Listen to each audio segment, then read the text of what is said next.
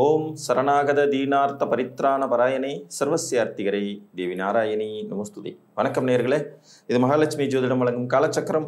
உங்கள் அன்பு ஜோதிடர் ஸ்ரீராம்ஜி பேசுகிறேன். அனைவரும் நலமுடன் இருக்கிறீர்களா நன்றாகத்தான் இருப்பீர்கள் நன்றாக இருக்க வேண்டும்.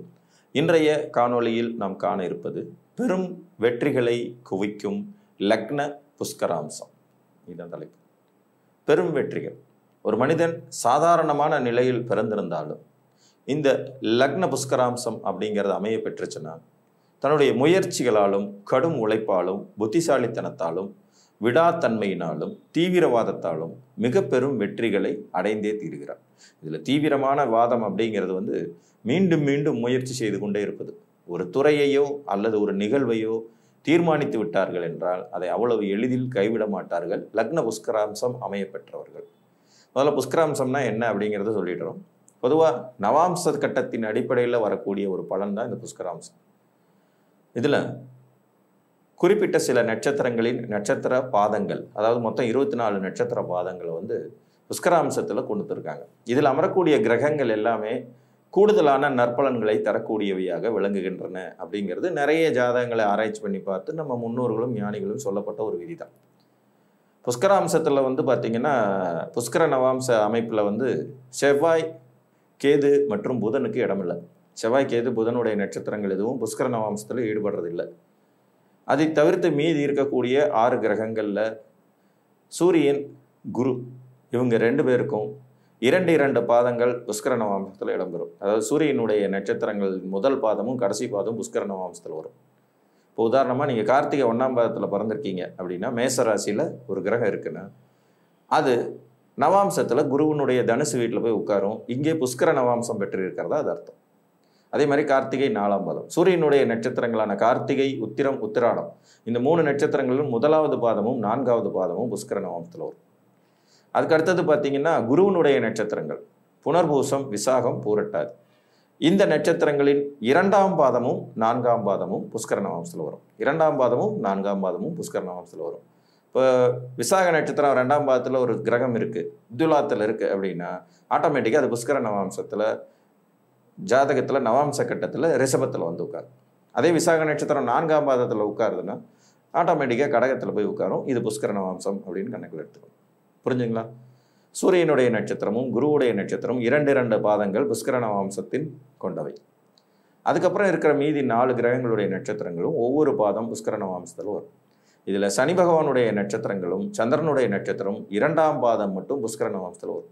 உதாரணமாக ரோகிணி அஸ்தம் திருவோணம். இந்த மூணு நட்சத்திரத்தின் இரண்டாம் பாதம் புஷ்கர நவம்சத்தில் வரும். சனி பகவானுடைய பூசம் அனுஷம் உத்தரட்டாதி. இந்த நட்சத்திரங்களின் இரண்டாம் பாதங்களும் புஷ்கர நவம்சத்தில் வரும். புரியுதுங்களா?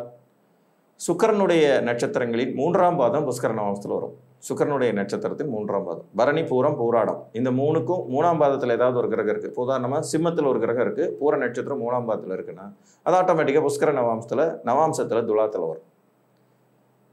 இந்த சுக்கரனுடைய நட்சத்திரங்களின் மூன்றாம் பாதங்கள் புஷ்கர நவாம்சத்தில் உலகம். அதுக்கு அடுத்தது ராகுவுடைய நட்சத்திரங்கள். திருவாதிரை சுவாதி சதயம். இந்த ராகுவனுடைய நட்சத்திரத்தின் நான்காம் பாதங்கள் புஷ்கர நவாம்சத்தில் வரும். புரிஞ்சுங்களா? அப்போ ராகுவின் நட்சத்திரம் நான்காம் பாதம்ங்கிறது மீனத்தில் விழும் இப்போ உங்களுடைய லக்னம் உங்களுடைய லக்னம் லக்ன புள்ளி புஷ்கர நவாம்சத்தில் விழுந்திருந்தா உங்களுடைய ஜாதகமானது வலிமையான முயற்சிகளை மீண்டும் மீண்டும் செய்து வாழ்வியலில் வெற்றி பெறும் தன்மை கொண்டதாக அமையும். இதுதான் சூட்சமம். ஸோ பன்னெண்டு லக்கணங்களுக்கும் புஷ்கர நவாம்சத்தின் சூட்சமும் உண்டு. இப்போ மேச லக்கணத்தில் பிறந்தவர் கார்த்திகை ஒன்றாம் பாதத்தில் பிறந்திருந்தாலோ பரணி மூன்றாம் பாதத்தில் பிறந்திருந்தாலும் புஷ்கர நவாம்ச அமைப்பு கொண்டவராக ஆகிறார். புரியுதுங்களா? மேச லக்னத்தில் பிறந்தவர்கள். கார்த்திகை ஒன்று பரணி மூணு. இந்த ரெண்டும் உங்களுடைய லக்ன புள்ளியின் ஆரம்பமாக இருந்ததுன்னா நீங்கள் புஷ்கர நவாம்சத்தில் உள்ள லக்னத்தில் பிறந்திருக்கீங்கன்னு அர்த்தம். இதில் பரணி மூணு வரும்போது நவாம்சத்தில் உங்களுக்கு துலா லக்னமும் கார்த்திகை ஒன்று வரும்போது நவாம்சத்தில் தனுசு லக்னமும் வந்து. ரிஷப லக்னத்தில் பிறந்தவர்கள். ரிஷப லக்னத்தில் பிறந்தவங்களுக்கு பார்த்தீங்கன்னா அங்கே மூன்று நட்சத்திரங்கள் இருக்கும் கார்த்திகை ரோஹிணி மிருகசீலம். இதில் செவ்வாயின் நட்சத்திரம் புஷ்கர் நவத்தில் வராதுங்கிறதுனால கார்த்திகை நான்காம் பாதத்தில் பிறந்திருந்தாலோ ரோகிணி இரண்டாம் பாதத்தில் பிறந்திருந்தாலோ உங்களுக்கு புஷ்கர நவம்சம் விழுகும். மிதுனத்தில் பிறந்திருந்தால் மிதுனம் வந்து மிருகசீரிடம் திருவாதிரை புனர்பூசம்ங்கிற அமைப்பில் வரும். இதில் திருவாதிரை நான்காம் பாதத்தில் உங்கள் லக்னம் ஆரம்பித்தாலும் புனர்பூசம் இரண்டாம் பாதத்தில் உங்கள் லக்னம் ஆரம்பித்தாலும் நீங்கள் புஷ்கர நவாம்சத்தில் பிறந்திருக்கிறீர்கள். புஷ்கர நவாம்ச லக்னத்தில் பிறந்திருக்கிறீர்கள்னு அர்த்தம்.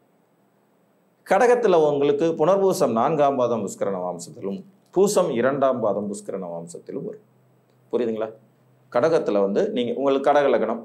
பிறந்தபோது உங்களுக்கு புனர்பூசம் நாலாம் பாதம் லக்ன வர்க்கோத்தமும் வரும் இதில். அல்லது பூசம் இரண்டாம் பாதத்தில் பிறந்திருக்கீங்களா? புஷ்கர நவாம்சத்தில் வருவீங்க. சிம்மலக்கணத்தில் நீங்கள் பிறக்கும்போது சிம்மலக்கணத்தில் உத்திரம் ஒன்றாம் பாதத்தில் பிறந்திருந்தால் புஷ்கர நவாம்சத்தில் உங்களுடைய லக்னம் விழும். அதே மாதிரி ப பூரம் மூன்றாம் பாதத்தில் பிறந்திருந்தீங்கனாலும் உங்களுக்கு புஷ்கர நவாம்சத்தில் லக்னம் விடும்.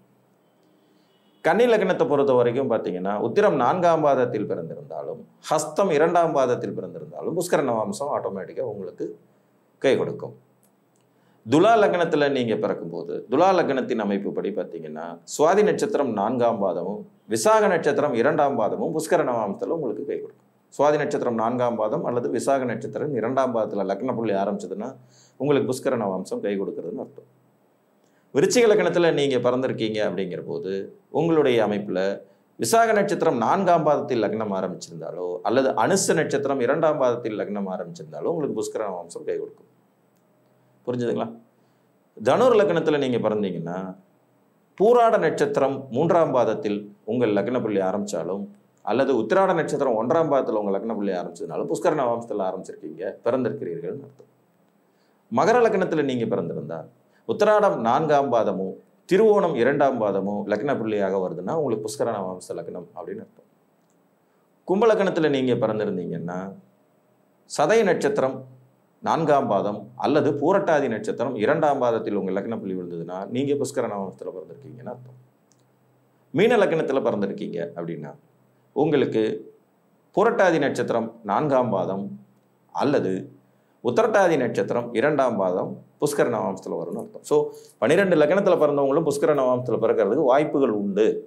அப்படி புஷ்கர நவாம்சத்தில் உங்கள் லக்ன புள்ளி விழுந்திருக்கிறது என்றால் கண்டிப்பாக வாழ்க்கையில் நீங்கள் ஒரு சாதனையாளராக மீண்டும் மீண்டும் முயற்சி செய்து வெற்றி பெறுபவராக பொருளாதாரத்தில் தன்னிறைவு அடைபவராக எடுத்துக்கொண்ட பொறுப்பை மிகச் சிறப்பாக நிறைவேற்றும் கடமை வீரராக உறவுகளும் உற்றாரும் புகழக்கூடிய அளவிலான ஒரு வாழ்க்கையை வாழ்பவர்களாக கண்டிப்பாக இருக்கும் இதுதான் அந்த புஷ்கரண நவாம்சத்தோட சூட்சம் ஒரு கிரகம் நேரடியாக வலுப்பெற்றிருக்கிறதா இல்லையா என்பதன் சூட்சுமங்களை கிரகங்கள் அமர்ந்திருக்கும் நட்சத்திர சாரத்தின் அடிப்படையிலும் நவாம்சத்தின் அடிப்படையிலும் கணிக்க வேண்டியது இருக்கும்.